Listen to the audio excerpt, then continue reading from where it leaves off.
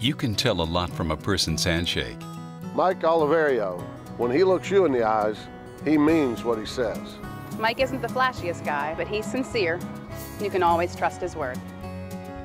You shake Mike Oliverio's hand, and you know the man is honest. Isn't it time for integrity and honor in Congress again? Democrat Mike Oliverio for Congress. I'm Mike Oliverio, and I approve this message.